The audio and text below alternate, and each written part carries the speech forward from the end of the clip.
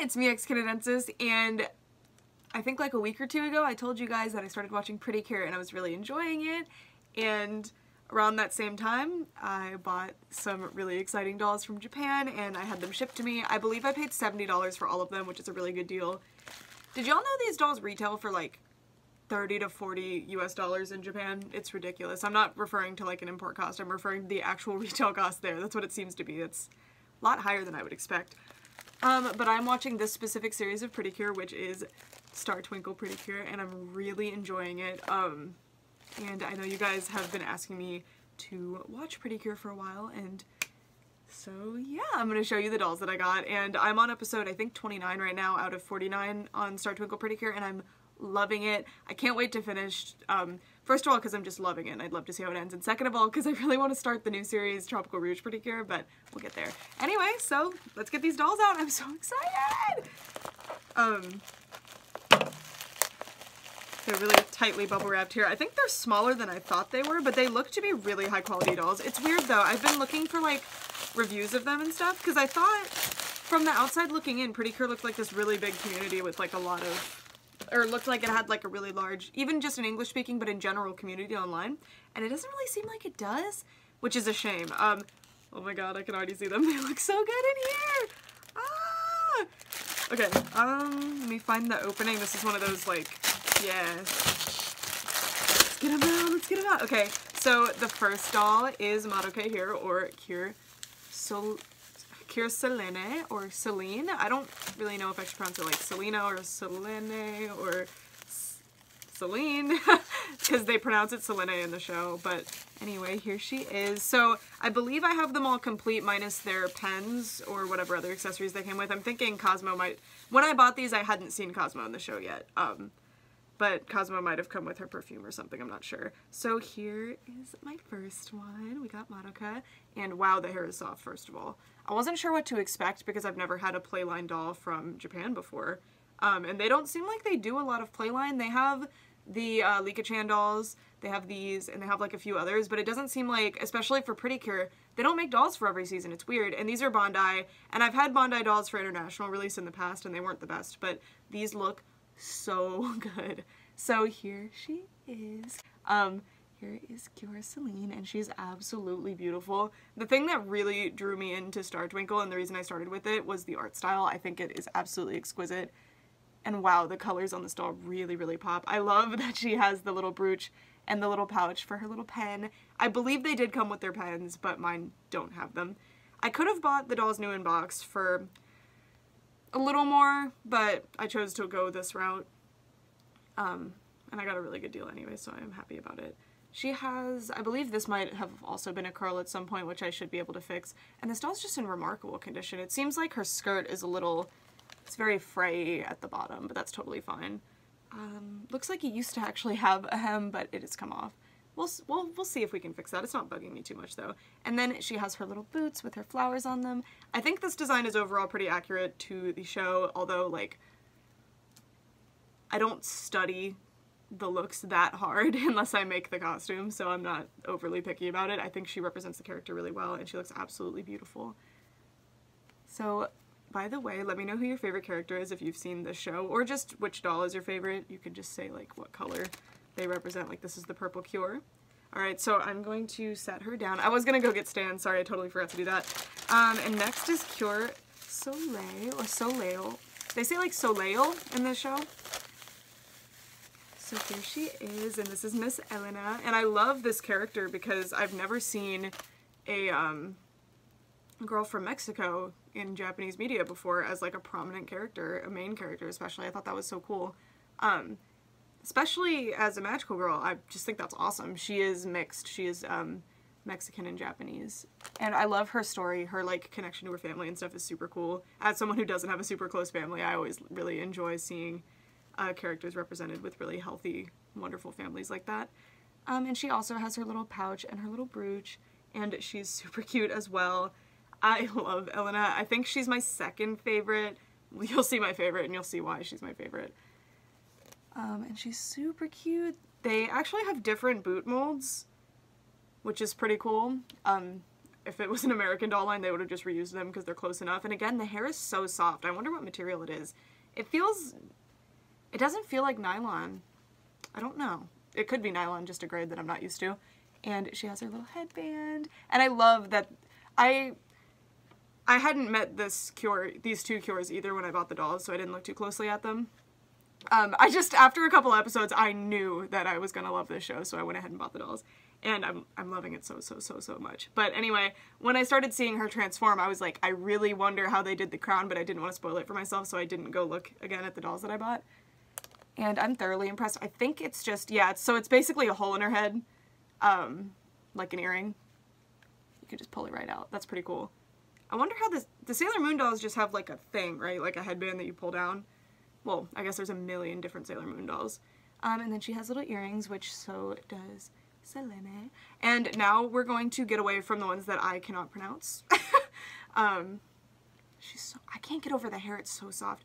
And she's absolutely perfect. I have no, um, there's no like, you, like I can't tell this doll's used, unlike this one with the skirt being a little bit torn, but that's totally fine and she's gorgeous. So I'm to sit her down now and we're to get out the third doll in here, which is Cure Cosmo, who I got these dolls two days ago and I couldn't do the review yet because Cure Cosmo hadn't revealed herself yet. Obviously, I'd been seeing the episodes with Blue Cat and stuff, but um, I hadn't gotten to meet Blue, um, Cure Cosmo yet, and I didn't want to do a video about a character that I hadn't met yet, or including a character that I hadn't met yet as if I had, so um, Let's see her. And I love her so far. She's a really cool character.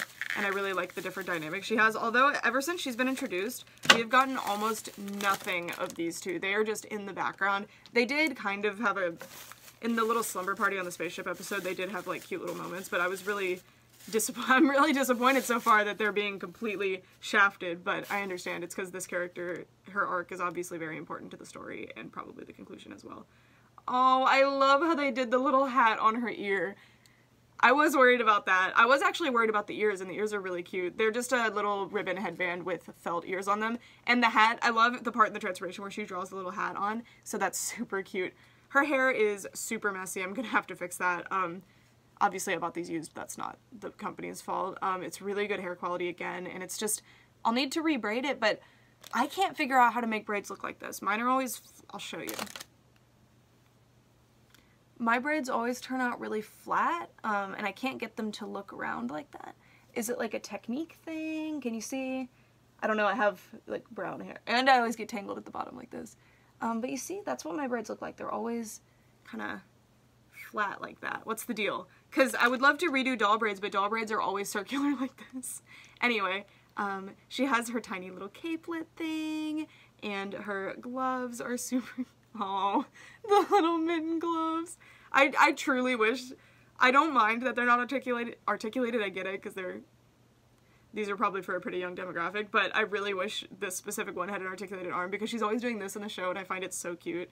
Um, love her little outfit, and she has the big poofy skirt. She doesn't have the little purse to put, um, your, your pen in, but she never has a pen, generally. No, she she has her own little princess pen, but she never has like the extra pens like the other girls have, so maybe that's why. I don't remember if that's part of her design or not. If it is, mine is just missing it. Um, and she probably came with the perfume as her extra accessory, but I don't have the extra accessories. It's fine though. Um, super cute. Love the little rainbow spectrum skirt. An homage to her home planet and her little um, lace underlayer on a skirt and then the tulle here, super cute. Really well done actually. I'm really shocked by the, so, not shocked, sorry, I'm really impressed by the, the fine details. See, so why were the Bandai Miraculous dolls looking the way that they did when Bandai can like bust this out out of nowhere, you know? Um, and then here's her little tail. I was also worried that they wouldn't do the tail, which I shouldn't have been because these are Japanese dolls, not American dolls. Um, and then here's her little boots. She's really cool. I love especially that they did the little ponytail pieces. I wouldn't have minded um, if they hadn't because I get it. It would have been kind of difficult, but oh gosh, she looks so good. I truly wish, it seems like dolls are completely not the emphasis with these characters, which I honestly always thought this was one of those like, kind of like Winx. Winx wasn't made to make dolls, but it like naturally is a doll franchise. I thought Pretty Cure was going to be the same way, but it seems like it honestly isn't. These are the only dolls for this season. And then there's also mostly there's just figures, like there's these little candy figures and stuff. That seems to be the emphasis of Pretty Cure franchise as of now. They do all get dolls now, I think. These this season was from 2019. Anyway, my favorite is Cure Milky. I'm so excited about her. Oh my god. Lala is my favorite character. It's not really fair because she's green and an alien has cute elf ears, but oh, I want to see if she, oh, they don't have the elf ears. I wonder if Lala will. That's totally fine though, I get it. They're just using the existing head mold. Um, oh, that would have been the extra mile. All right, let's get Lala out. Oh, oh, sweet. I was worried about how they would do the, um, her little feelers and of course they did them. They seem to actually, oh, okay, they're attached to the headband. Oh, so cute. I can imagine like a collector doll if they did like a Pullip or something. She would have like wire feelers so that you can move them around. But this is so cute and works really well, especially because they kind of do flop around in the show quite a bit when she's moving around. Oh, that's so darling. Oh. And of course she has her brooch and pouch as well. And she has her tiny little, um, they're not gloves. They're just like wrist puff things, I don't know. And her outfit is darling as well. She has this like cellophane material. Oh, the big bow is on the back. They actually did it. I'm just shocked, honestly. And then the sock is really cute. It's made out of um, like a, a knit material.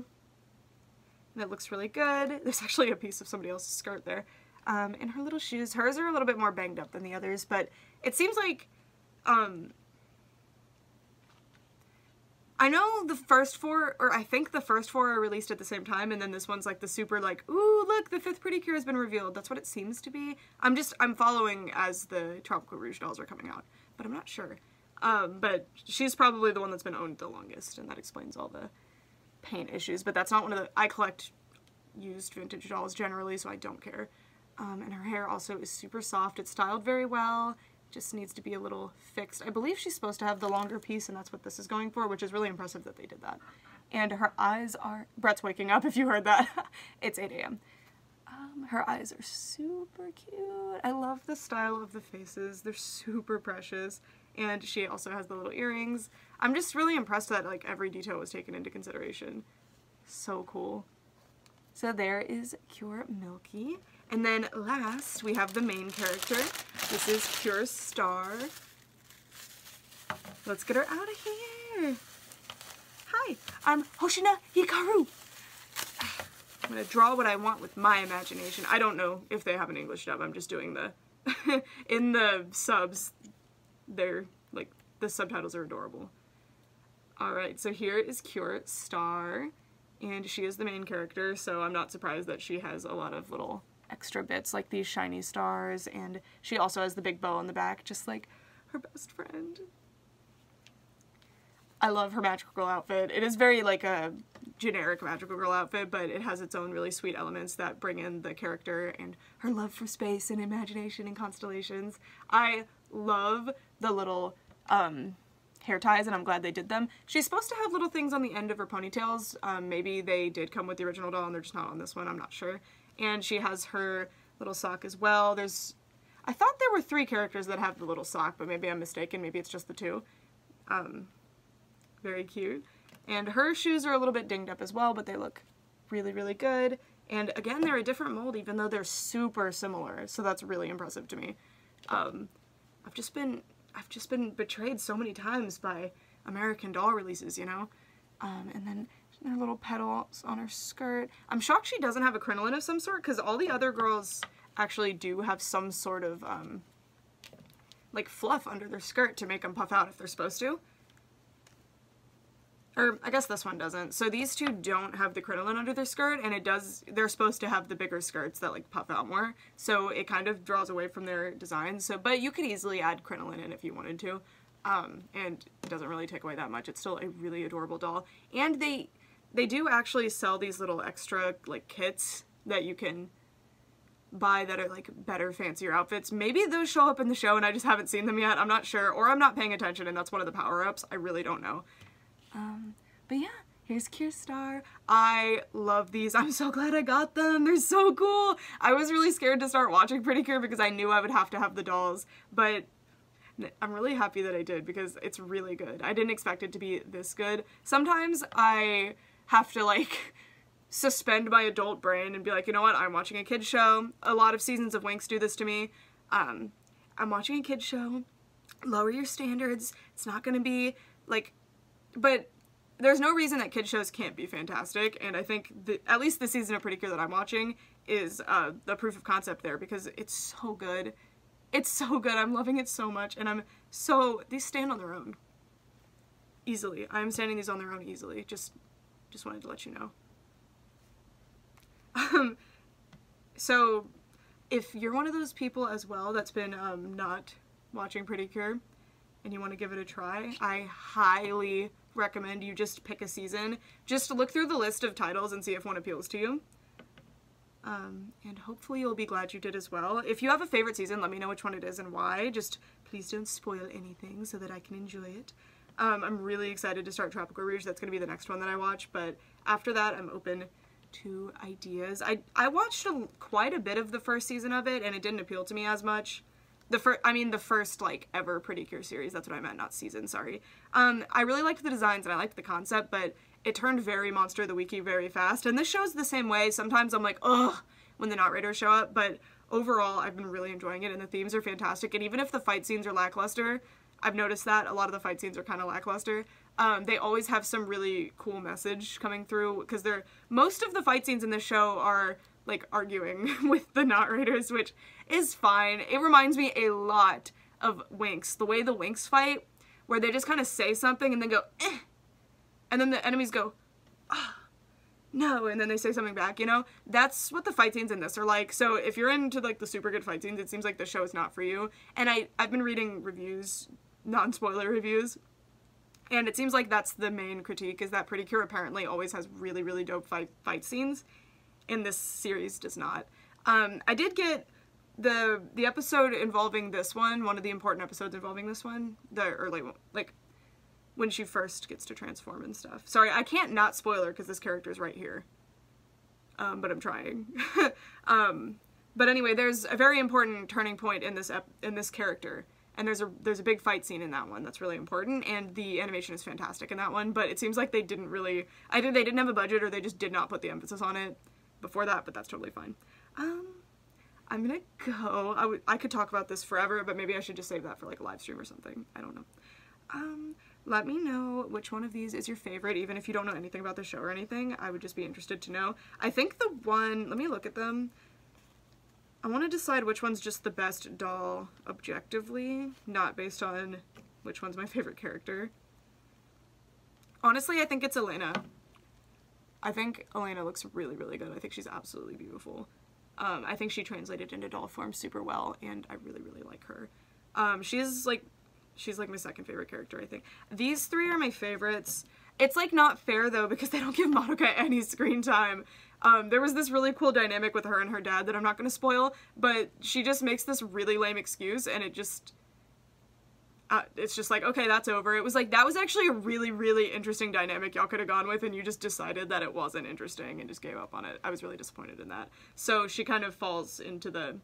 Um, the background character realm, but when you have five characters and you're trying to give them all a lot of screen time, that happens. Lala has been getting the um, the background character treatment around the part of the season that I'm in right now, and it's making me really sad.